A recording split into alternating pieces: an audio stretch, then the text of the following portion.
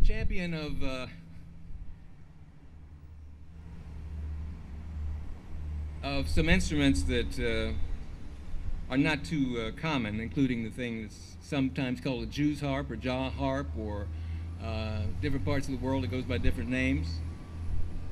And um, this one is uh, basically forged steel, and, and, then there's a, a tongue in the middle, and um, you put it up to your teeth, and you play it, and you can sometimes get a tune.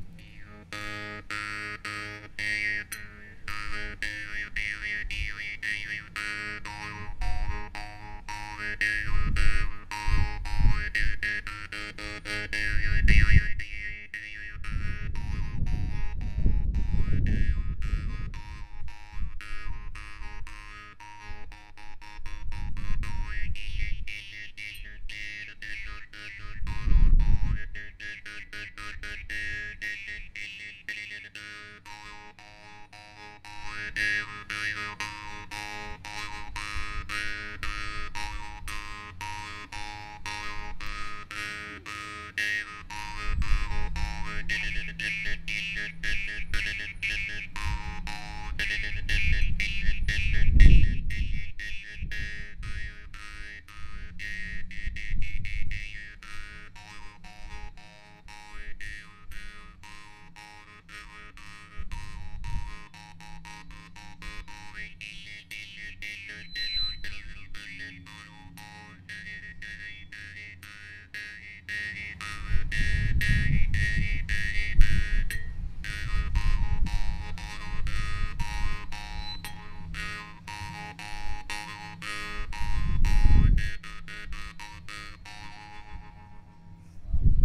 little bit of the uh, Arkansas Traveler on a Jew's harp.